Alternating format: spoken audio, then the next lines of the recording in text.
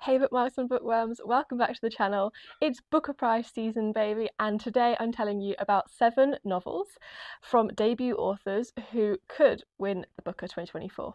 Now, I have a sneaky suspicion, along with Scott over at Gunpowder Fiction and Plot and Bob from Bob the Bookerer, that Booker 2024 is going to be laden with well established prize winning authors because there are just so many of them eligible this year. They're all, it's like the heavyweights are all vying for this year's title of Booker 2024.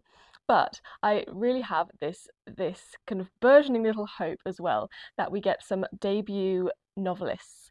Um, I have a, a few reasons why this is. The main one is because Yiyun Li is a judge on this year's panel, and so she is a creative writing professor at Princeton University. She is always therefore seeing young upcoming writers, potentially who have no spotlight being shone on them at all. She knows the value of prizes firsthand as she won the PEN Award when she was a, a very new, relatively obscure author.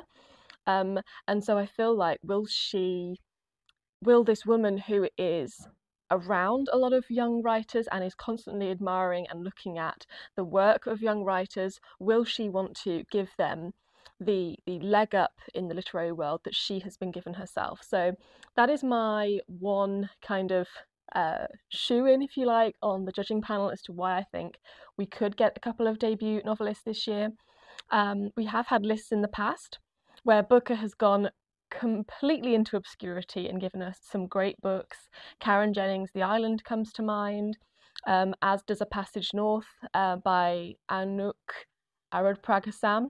Um, those were both books that came out of left field and no one had heard of really and read them because of the booker and absolutely were loved by people when we read them. So they could have, and I'm kind of hoping for more of an obscure year, but as there are just so many, I think uh, Scott from Gunpowder Fiction did a brilliant video talking about 163 eligible titles this year. So many of them were coming from well-established authors, um, the likes of uh, Chigozie Obioma, uh, Percival Everett, uh, Ali Smith even. To say there is going to be quite a crowded eligibility pile of books on this year's judging panel table is an understatement, I think.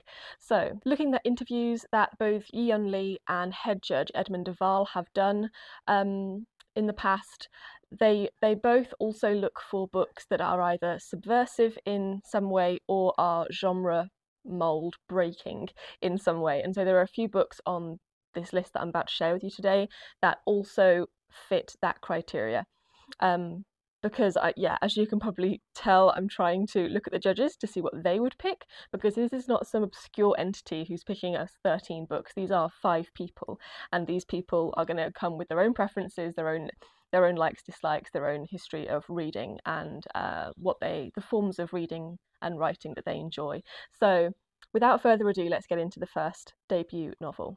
So first up we have Hyper by Agri Ismail. This is in the contemporary autofiction genre and this follows the three children of Rafiq Kermanj as he basically is forced to flee from Tehran to London after founding the Kurdish Communist Party.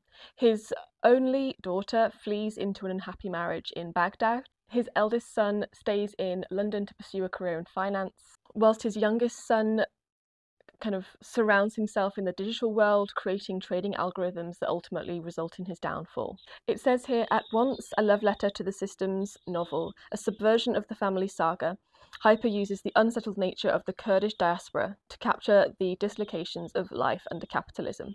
So this is tapping into that um, subversive, um, genre breaking in some way aspect that both Yiyun Li and Edmund de Waal have claim to enjoy and and want to see. So moving on to the next book. This is Manny and the Baby by Varaidzo. This author is already being called one to watch, um, being named Stylist's Best New Fiction of 2024 and included in the NetGalley 2024 hot list. Um, so, could this be the debut dark horse that makes it onto this list of Booker 2024 with all of these huge names that we all know and potentially love? This novel is also character driven historical fiction, which in years past has been very well represented as a genre uh, on Booker lists, and so this could also be Booker sticking to type in some way as well. Going between two timelines, this is about what it means to be black in Britain, um, following a 2012 timeline and also a 1936 timeline. Well researched and poetic, this could be a real win for the judges who really love well written historical fiction, like, for example, Sara Collins, who's a judge on this year's panel, who writes historical fiction herself. Next up, I've chosen to highlight Colin Barrett's. This is Wild Houses, and I have chosen this because many of the judges, I think three out of the five judges, are all on record in interviews saying they like poetry and they like the short story form. Colin Barrett is already a very well regarded short story writer, and so in his first dive into the novel, will he take his his um, previous writing style and kind of have elements and influence a a long form novel. This is definitely a novel. It's therefore definitely Booker eligible. But what I mean is, will he take his writing experience uh, in the short story form, which presumably he feels very comfortable and confident in, and weave in elements of that to this debut novel? Those elements that will appeal to the judges who are already saying we like poetry, we like the short story form. It is also Irish fiction, which we all know also gets a lot of prize attention, especially Booker Prize attention. Barrett has already been receiving some attention for this book.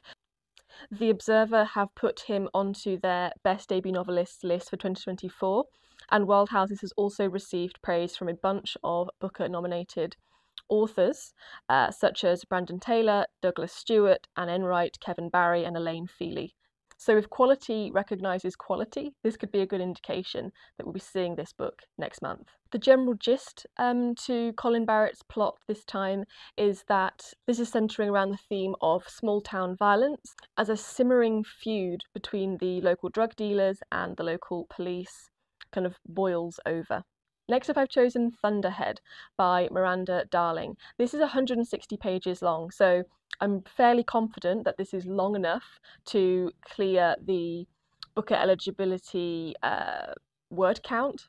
And as I've said, a big reason as to why I gave this a spot on this very small list of seven debut novels is because it is a short, short novel a bunch of judges who like short form fiction are probably going to be more likely to put this on the list than a giant seven, 800 page epic. Now that I've said that, we're all going to be reading a tome on the long list this year, so I apologise in advance for saying that. This novel has also been given that that label of uh, quirky genre bending, which again is another buzzword that the judges themselves have can be quoted as saying they like. So I'm holding on to that and I'm running with it. Um, this is a black comedy set in suburbia about one woman's struggle to be free.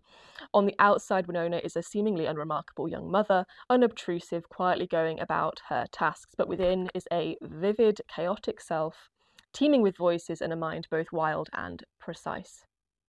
So really, who knows if this book is going to get onto the list? Who knows if any of these books are going to go onto the list? But um, yeah, I hope I've chosen some ones here that maybe sound appealing to you regardless. I know right now in my reading, um, I am uh, sampling and reading in full some of the books that I have found from the eligibility list on Goodreads, which is my go to resource for all things Booker related. Um, so I highly recommend you check that out, look at the uh, summaries and blurbs yourself. And maybe get a head start because that is what I'm doing. Um, speaking of that, this next book that I'm about to talk to you is one of the samples and novels that I've read in full. This is Julius Taranto's How I Won the Nobel Prize. Great cover, first of all. I really loved the cover. And I also loved the blurb of this. This is about a grad student who follows her disgraced mentor to an island of disgraced university, uh, not dropouts, but university academics, let's say. And so this is very much a satire. It's very funny around this idea of um, college cancel culture, right? Because all of these uh, disgraced academics, be they professors or students, all end up on this on this island together, and basically have a great time. They they have um, they're obviously but all incredibly intelligent. They're producing some amazing uh, research and um, uh, to the point where you know you have the other other uh, campuses who on the mainland going oh we want to go and work there because clearly there's a lot of of research uh, this is this is where the the finger is on the pulse if you like of academic research we want to go there but obviously they can't because this is some sort of punishment. Right? This isn't meant to be some alluring island, um, and yet it that is inevitably what, what has happened. No one wants to stay in these sort of um, left wing institutes anymore. Um, and so this young grad student has gone along following her mentor to do some research, but it's also pulling into question her personal life, her marriage, that sort of thing. So um, it's a really great read. It's a quick read. Um, it's an interesting read. Um, it really flows. It has a nice flow to it. It does kind of drop off towards the end. It's definitely a debut novel in that it has a couple of those pitfalls going on. Um, but who knows? It could be that the the timeliness of this novel, the um, the charm of this novel really works on the judges because it certainly worked on me. As with many Booker books, this has already had a very marmite reception. If you look at the Goodreads reviews, there are some people who are one star and there are some people who are five star, and there's not really a lot of in between, which I personally think only strengthens its validity as a Booker prize nominated book because I feel like that is basically Booker catnip. They they love a divisive book. They love a book that is hated by some and loved by others. Prophet Song being a classic example of that from last year's list. How to Build a Boat by Elaine Feeney being another classic example just from the list just gone, let alone previous years and previous examples of that. So uh, yeah, this could really be on there in a, in a serious serious way. The next debut novel I'm going to talk about is Shanghailanders by Juli Min. This is a series of interconnected vignette style short stories about the lives of the cosmopolitan super rich in Shanghai.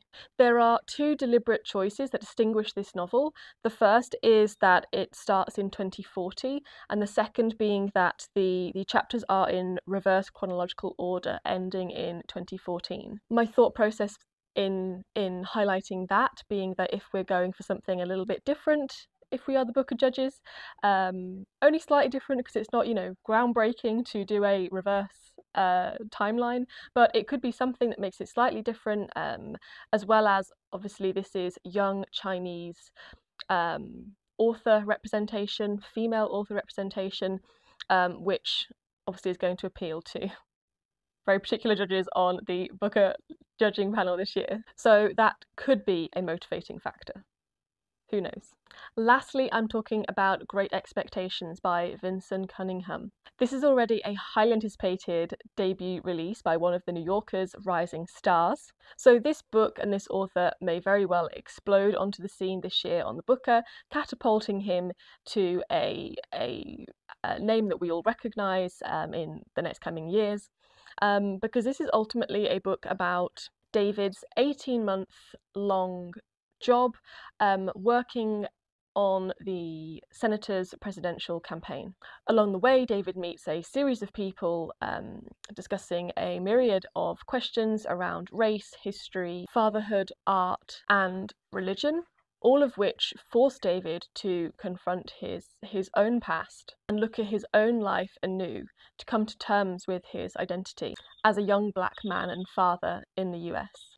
This is said to be memoir esque, so it could be sort of genre bending slash genre breaking if we're doing memoir esque fiction. But again, I may be I may be stretching that one slightly. It's not quite genre breaking, but certainly coming of age narratives are no stranger to the Booker long list, as well as this thematically feeling very Booker appropriate. Um, so I have potentially saved Great Expectations for last on this list, and it could be the one that is most likely to get onto the list. So those are my thoughts on just a few of the eligible debut novels for this year's Booker. Do let me know in the comments uh, which ones you've heard of, which ones you want to read, which ones you definitely don't want to read. Let leave me down in the comments any debut novels that are on your radar that you've checked out that are eligible for the Booker because I obviously need to to read and research more. Um, so yeah, help me out and, and leave those in the comments down below for me to go and check out myself and obviously for all the other viewers scrolling through the comments who want more debut fiction recommendations. Do make sure to subscribe to the channel. I'll be putting out book content all throughout the summer. Um, so stay tuned for that and I'll see you very soon, guys. Thank you for watching today's video. Have a nice day. Bye, guys.